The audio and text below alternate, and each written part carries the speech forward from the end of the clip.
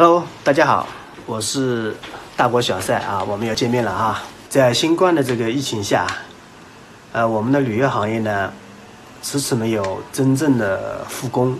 新毕业的导游何去何从呢？我啊，来跟大家分享一下我的这个观点哈。我认为呢，新冠疫情啊肯定会过去的。那我们的旅游行业呢，前景肯定是非常好的啊。在这样的前提下，应该怎么办啊？怎么做？自己的知识储备，呃，学校里面学的这个导游词啊，那几本书是完全不够的。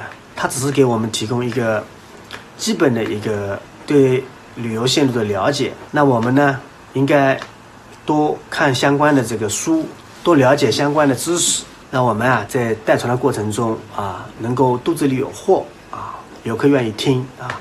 第二呢，要熟悉，趁现在这个时间啊，有有时间，对吧？那我们呢，要去景点、景区现场考察，熟悉线路。那到时候在带团的过程中啊，能够马上带团，啊，不会对线路有陌生。第三呢。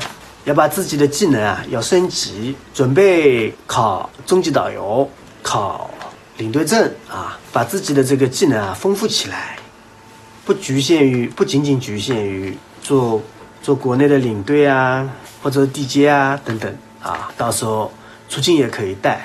第四呢，我们要多锻炼自己，增强自己的这个带团技能啊，讲解技能。那很多朋友说啊，现在。这个疫情下有没有团带？怎么增强呢？现在呢，这个网络比较发达啊，平台比较好，像我们今日头条，对吧？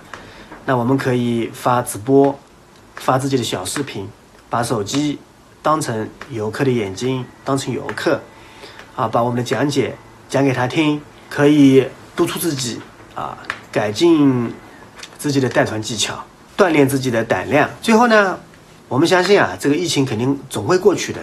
没有一个春天不会到来。希望啊，啊，我们的新导游呢，在疫情过去之后啊，能够马上上手，在旅游行业中啊，能够大放光彩，把旅途的快乐、好的体验、好的讲解带给游客。